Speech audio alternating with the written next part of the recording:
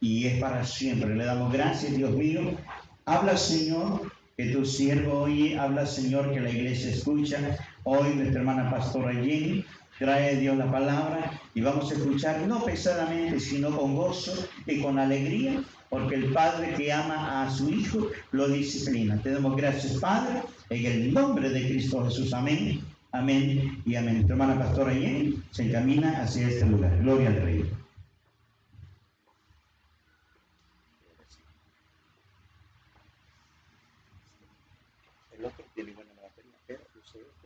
Voy a el.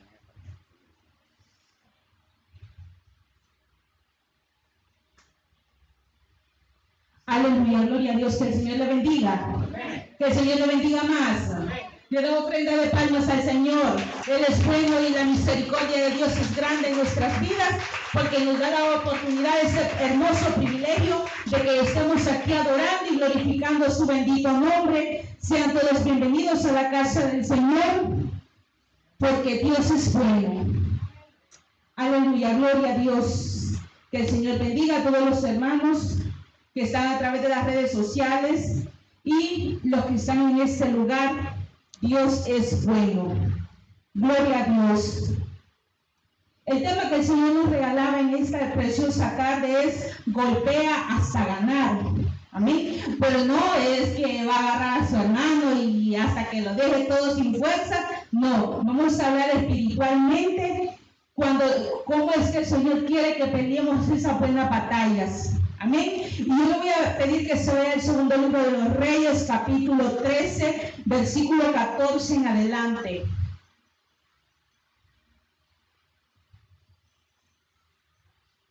Aleluya. El segundo libro de los Reyes, capítulo 13, versículo 14 en adelante. Vamos a leer una palabra muy hermosa donde el Señor nos nos motiva para que sigamos adelante, para que peleemos esta buena batalla de la fe con, nuestras fuerzas, que es, eh, que es la palabra de nuestro Señor, meditando en todo momento y con la fuerza de nuestro Señor Jesucristo. Amén. Y la palabra la vamos a leer honrando al Padre, al Hijo y al Espíritu Santo. Y a su santa letra dice, como tópico tiene ahí profecía final y muerte de Eliseo. Segundo libro de los Reyes, capítulo 13, versículo 14 en adelante.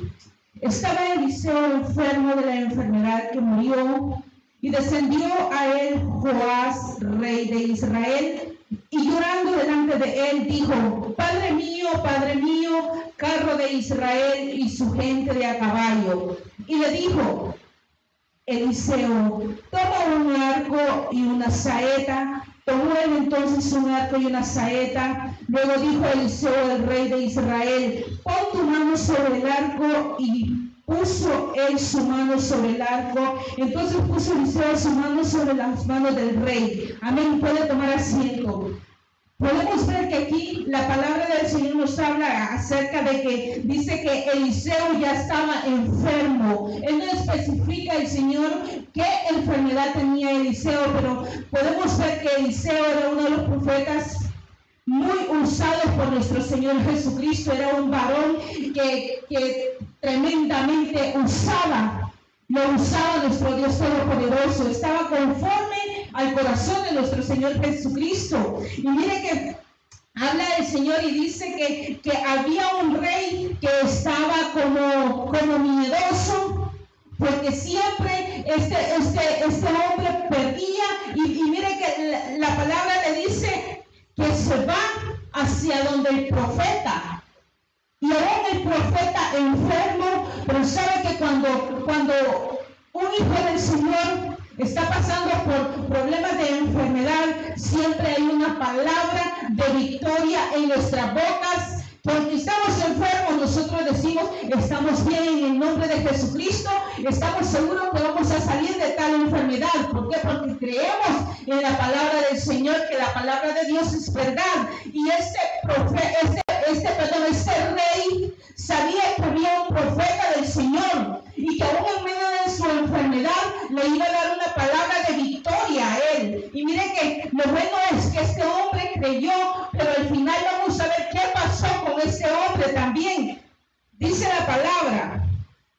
descendió a él rey de Israel, y orando delante de él, dijo, Padre mío, Padre mío, cabro de Israel y su gente de a caballo. Y mire que estaba ahí el profeta del Señor, estaba ahí Eliseo, y le dice, toma un arco y una saeta. Usted sabe que una saeta es una flecha, pero el Señor estaba dando instrucciones a este rey cómo que podía vencer aquel ejército que estaba queriendo hacerle la guerra.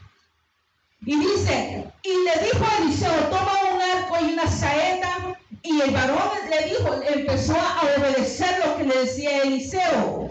Tomó entonces un arco y una saeta. Luego dijo Eliseo al rey de Israel, pon tu, mano sobre el arco, le dijo. Mira cómo lo iba, lo iba, le iba dando instrucciones Eliseo a este rey.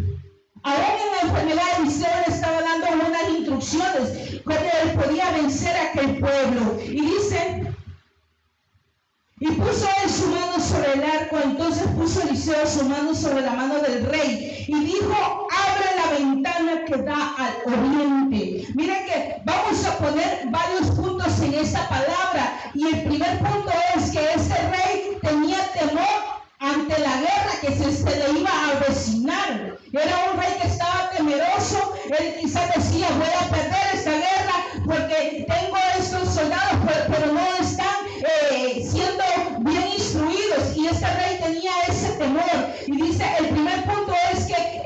el, temor del rey era grande ante la guerra que se le asignaba. La respuesta del hombre de Dios fue, entra a la batalla. Eso fue lo que le dijo Eliseo a este hombre, a este rey. Entra en la batalla, enfréntate, porque vas a salir victorioso. Y así muchas veces cada uno de nosotros se enfrenta una batalla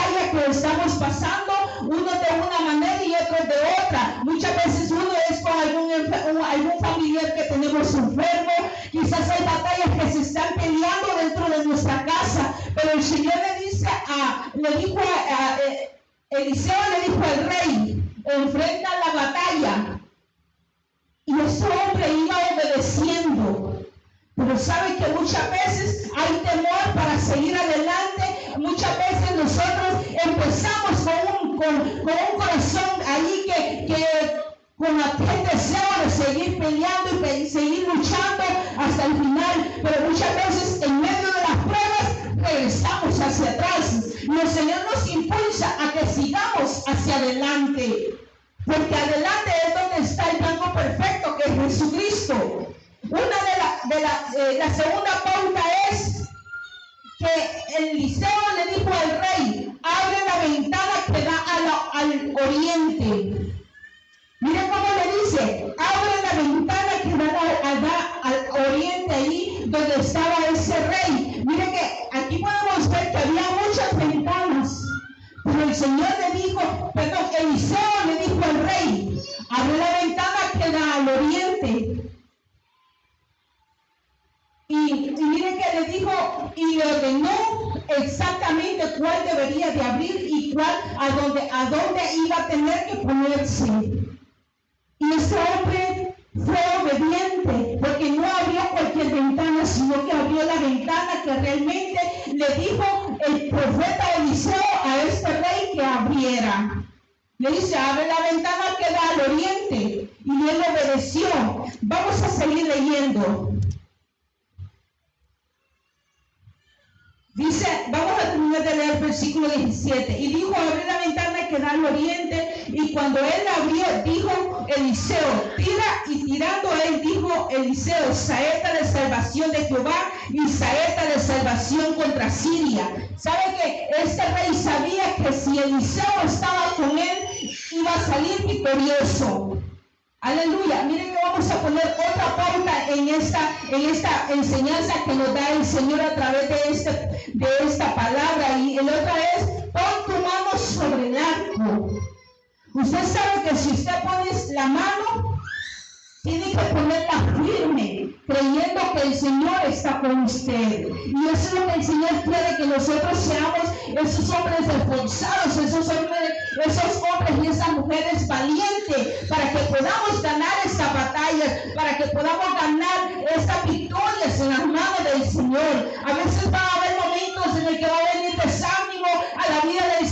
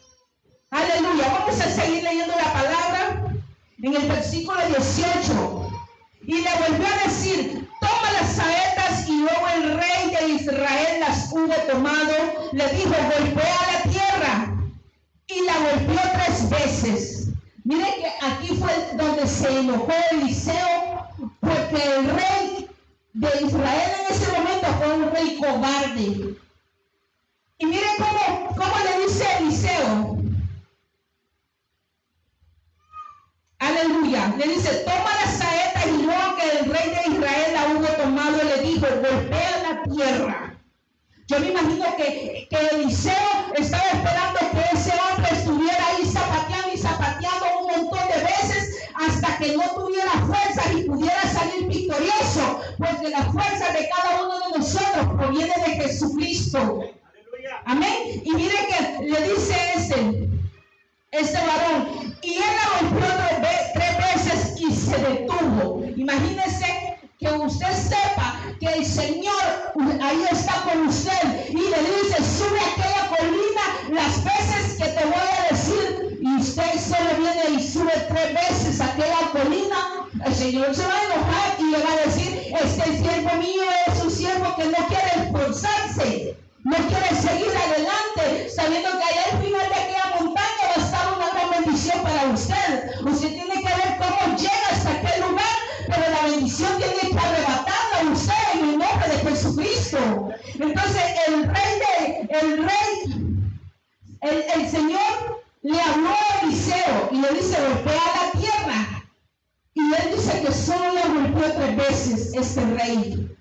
Y mire cómo dice, cómo le, cómo le, le dijo el, el profeta Eliseo en el versículo 19. Entonces el varón de Dios, enojado contra él, le dijo, al dar cinco o seis golpes hubiera derrotado a Siria hasta no quedar ninguno, pero ahora solo tres veces derrotarás a Siria. Mire cómo se enojó Eliseo, porque le dijo que él había sido un hombre cobarde, que si hubiese peleado, hubiese golpeado esa tierra cinco o seis veces, hubiera ganado. Pero como solo solo esas tres veces le vas a ganar a Siria, le dijo el profeta Eliseo. Entonces, ¿qué nos dice el Señor en esa preciosa tarde? No importa cuántas veces Usted tiene que seguir insistiendo en el Señor. Lo importante es que lo haga con fe, creyendo que Jesucristo le va a entregar la victoria. Muchas veces tenemos uno, dos,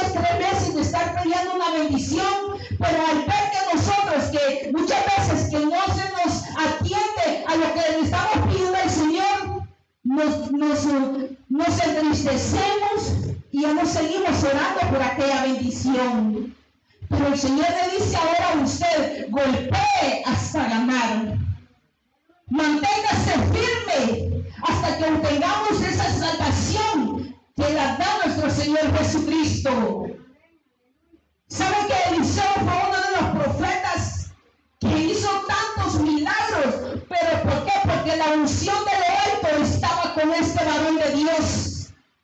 Y sabe que así como en aquellos tiempos estos hombres de Dios hacían milagros, así nosotros podemos tocar el, corazón de nuestro Padre Celestial y podemos obtener los milagros que tanto anhelamos nosotros tener. ¿Qué es lo que está peleando usted?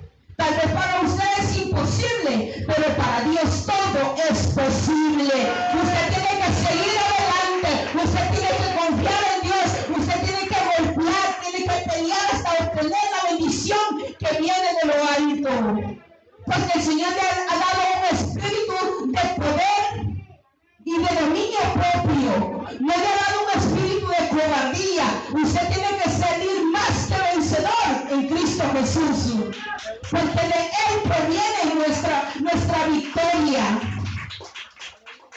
Usted siga peleando esa batalla, usted siga peleando esa bendición que tanto está clamando. Y va a ver que va a haber el resultado. Quizás vamos a ser eh, triturados, sí. Quizás vamos a ser pasados por el fuego, sí. Pero al final va a valer la pena porque estamos peleando, creyendo que quien va con nosotros es el poderoso de Israel. Quien está peleando la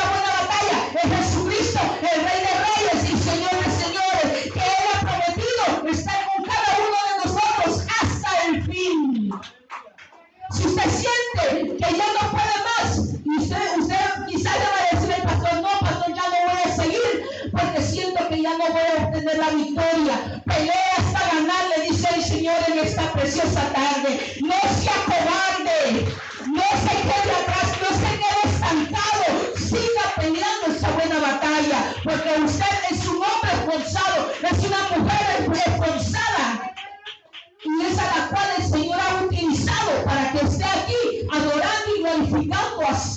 santo nombre. Debe permanecer firme creyendo en nuestro Señor Jesucristo.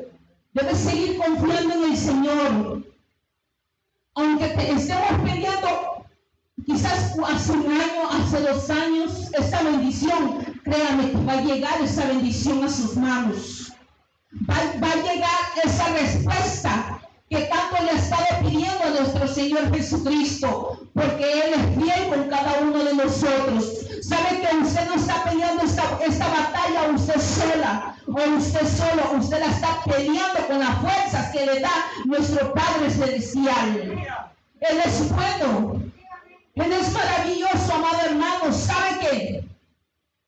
Que mi esposo le escribió a alguno de los hermanos que yo, yo estoy orando un hermano mío que está enfrentando la enfermedad del COVID. Él ha estado bien delicado de salud.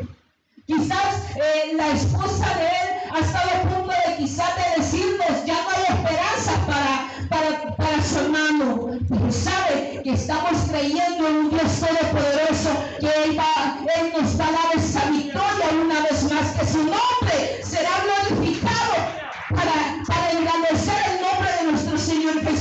Y sabe que nos han dado, nos han dado noticias. Son poquitas ahí las noticias, pero hay esperanza. Hay esperanza en nuestro Señor Jesucristo. Mientras el Señor nos levante aquel el siguiente día y nos dé vida, hay esperanzas en el Señor. ¿Por qué? Porque la misericordia de Dios se ha extendido en nuestras vidas. Cuando ya no hay esperanza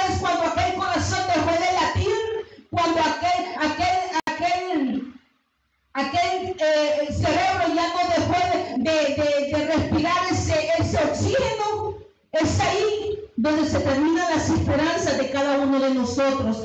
Pero cuando nosotros abrimos nuestros ojos el día siguiente, es porque la gracia de Dios estuvo con cada uno de nosotros. Y debemos de seguir confiando en el Señor, aunque parezca que ya no vamos a poder seguir adelante. Pelea golpea hasta ganar. No suelte al ángel de Jehová, porque Él le va a escuchar y Él le va, le va a dar la victoria que usted necesita y va a traer paz a su corazón, eh, a traer gozo a su corazón y va a seguir adorando a nuestro Señor con más gozo, con más júbilo. ¿Por qué? Porque el Señor ha contestado la petición de su corazón. Mire este varón eh, cuando aquel hombre empezó a pelear con el ángel en aquel lugar, le dijo, no te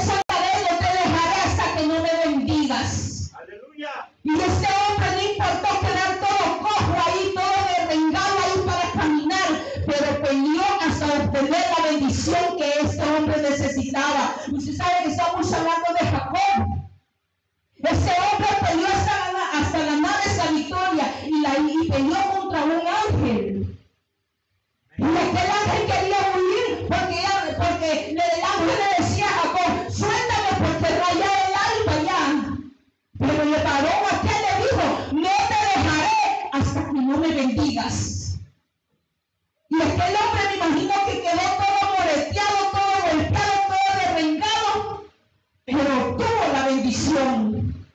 No importa cómo quedemos nosotros, pero tenemos que seguir peleando esa bendición. Aquel ángel le dijo a Jacob, ya no te llamarás Jacob, sino Israel. Y mire, obtuvo la bendición. Aleluya. Así el Señor le va a dar la bendición a todo aquel que esté dispuesto a pelear esas buenas batallas. Va a ser lento, sí, pero seguro, creyendo y confiando que Jesucristo está con cada uno de nosotros.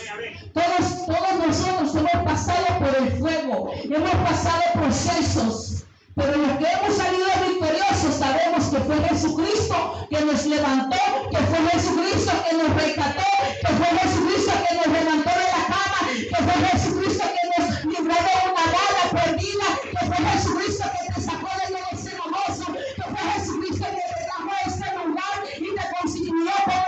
como un sacerdote delante del Señor. Dios es bueno. Y debemos de servir al Señor con todo nuestro corazón. Porque los días son muy malos y solo Cristo Jesús es el que nos da un camino seguro, un camino que debemos de seguir confiando nosotros en Él. El varón de Dios le dijo a este rey, pelea hasta ganar, pelea, golpea la dijo. El varón, este varón solo la golpeó tres veces, este rey. Y Eliseo se enojó porque solo fue, fueron tres golpes los que él dio a la tierra. Hoy el Señor le dice, no solo de un golpe, no solo los dos golpes o tres golpes, pelea hasta ganar. No importa que sus rodillas estén llenas de cicatrices, pero esas cicatrices van a valer la pena porque habrá obtenido el, ese, ese privilegio de que el Señor le entregó el milagro que tanto usted estaba clamando para, nuestro, para que el Señor se glorificara en lo que usted quería. Van a valer las penas esas, esas madrugadas que quizás usted dice, quizás usted ni puede dormir. Y usted en la madrugada se viene al altar o se hace Señor, si lo levanta, es para que vaya a platicar con Él. Y es porque algo nos va a decir el Señor en este momento. No importa cuántas veces usted llegue ahí a postrarse delante de la presencia del Señor, pero todo eso va a valer la pena. Va a valer la pena porque el Señor está con cada uno de nosotros. No se desanimen, sigamos adelante, aunque miremos que ese, esa, estos toques de queda van a seguir continuando. No reneguemos, sigamos adelante confiando en nuestro Señor Jesucristo, que vendrán tiempos mejores para todos nosotros. Mientras tanto tenemos que cuidarnos, tenemos que seguir adelante, tenemos que aprender a confiar y depender únicamente de Jesucristo. Amén. Porque solo Él nos va a entregar esas victorias que todos nosotros tenemos y queremos tener. Póngase sobre sus pies en esta preciosa tarde. El Señor le dice en esta tarde, golpee hasta ganar. Pero no vaya a ir a agarrar a su esposo o a su esposa, o no vaya a agarrar a su hijo, no. lo que le estamos predicando son cosas espirituales. ¿Ya si se porta mal el hermano? No, el Señor dijo que no era con vos que tenía que desquitarme, dígale. Y peleamos esas buenas batallas del Señor. Confiemos en, el Señor Jesucristo, Él está con cada uno de nosotros. Quizás usted se ha sentido triste en estos días. Quizás usted se, ha sentido sin fuerzas, se ha sentido decaído. Pero recuerde que el Espíritu, el Espíritu Santo está con cada uno de nosotros. Y entre más solos y más tristes nos sintamos, Él está ahí abrazándonos. Él está ahí dándonos una palabra de confortamiento, una palabra de vida, una palabra que produzca gozo, una palabra de esperanza, una palabra de motivación para con cada uno de nosotros. Padre, en el nombre poderoso de Jesucristo, venimos delante de ti, Cordero Santo de Dios, dándote la gloria, la honra aquí, Señor amado. Padre, aquí estamos, Señor Jesucristo, necesitados de ti, Señor, que nos puedas ayudar, Señor, que nos puedas instruir, Padre de la gloria, Padre, que nos ayudes que aumente nuestra fe, Señor amado, para que podamos ganar esa, esas bendiciones, para que podamos pelear esa buena batalla, Señor amado. Ayúdanos a seguir adelante, Señor amado. Ayúdanos a serte fieles a ti, Señor amado. Ayúdanos, Espíritu Santo, danos ese gozo, esa paz a nuestro corazón, Señor amado.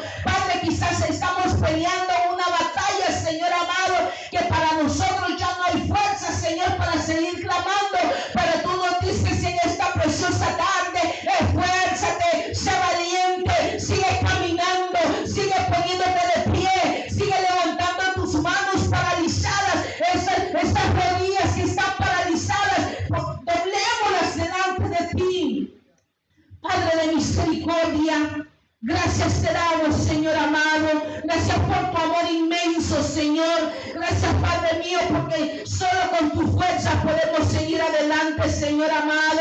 Padre, presento cada una de las peticiones de mis hermanos que están en este lugar, Señor amado. Sabemos que tú vas a traer la respuesta pronto a sus manos, a sus vidas, Señor amado. La gloria, que aquel que esté enfermo, Señor, pueda ser sano por el poder de tu problemas en sus hogares, Señor, sea usted dando una palabra de paz, Señor, una palabra de consuelo, Señor, una palabra, Señor, que ministre paz en aquellos hogares, Señor amado, Espíritu Santo de Dios, solo tú tienes palabra de vida eterna, Señor amado, solo tú nos puedes dar la fortaleza que tanto necesitamos, Señor, que aquellas personas que han perdido seres queridos, Señor, que hay luto en sus corazones, en sus hogares, Padre de la gloria, sea usted, Señor, poniendo este bálsamo que cada uno de ellos necesitan, Señor, dándoles esa fortaleza, Padre, esa paz que, que necesitan en sus corazones, Señor amado. Padre, te lo pedimos con todo nuestro corazón, Señor, y clamamos, Señor Jesucristo, por Eduardo Josué Ayala, Señor. Sabemos que tú, tú vas a hacer algo grande, Señor Jesucristo. Quizás el proceso sea grande, Señor amado, pero tú vas a dar la victoria. Estamos confiando en ti, Señor amado, porque tú eres un Dios lleno de misericordia, Señor amado. Padre, te adoramos, te bendecimos y exaltamos tu nombre, Señor. Gracias, Padre, Hijo y Espíritu de Dios. Amén y amén. Gloria a Dios. Se le de palmas al Señor y así el pastor con nosotros. Amén. Gloria al Señor. Puede tomar asiento, amado hermano. Eh, Dios es bueno, su misericordia para siempre. Amén. Una vez más por la distancia que tenemos, ¿verdad? Me quito el cubreboca. Dios bendiga eh, a nuestros hermanos en Brasil. Hay una hermana en Brasil que eh, prácticamente vio toda la transmisión, ¿verdad? nuestros idiomas se parecen bastante. El idioma español con el portugués, ¿verdad? Se parece bastante. Entonces muchas veces me llama la atención que nuestra hermana Erinalda de Jesús Vieira, ¿verdad? Decía amén, amén, gloria a Dios o aleluya, ¿verdad? Eh, hay palabras que son bastante entendibles. Y con mucha gente de Brasil hemos tenido una amistad muy bonita y ahora pues Yo quiero, ¿verdad?, bendecir desde este lugar a nuestra hermana Erinalda de Jesús Vieira. Deus abençoe, irmã. Paz del Señor. Amén.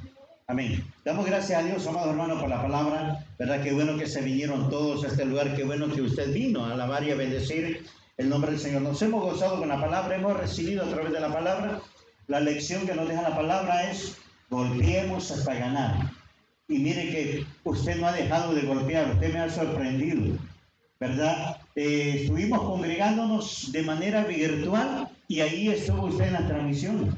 ¿Verdad? Yo siempre vi a la hermana Marta, al hermano Luis y así varios hermanos. Yo lo vi en las transmisiones cuando estábamos de manera virtual. Esa es una manera en la que estábamos golpeando hasta ganar. Y ahora que ya tenemos este mínimo retorno, pero ¿verdad? Nos, nos sentimos contentos porque prácticamente a todos los hermanos los hemos visto en este retorno, ¿verdad? Ah, para congregarnos y alabar el nombre del Señor. Amén. Sigamos golpeando hasta ganar. Usted propóngase ¿verdad? Por lo menos una vez al día, leer un capítulo de la Biblia. De esa manera usted está golpeando también para, para ganar. Ore, ¿verdad? Eh, el proceso que está, se ha sometido la hermana Conchita también es un proceso muy bonito, amados hermanos, es una manera poderosa también para golpear y ganar, ¿verdad? El ayuno y la oración, ¿verdad? Eh, conforta nuestra vida espiritual también, ¿verdad? Nos, dan fuerza, a pareciera que la carne se debilitara, pero el espíritu se mantiene fuerte, amados hermanos, delante de la presencia de Dios, aleluya. Eh, vamos a orar.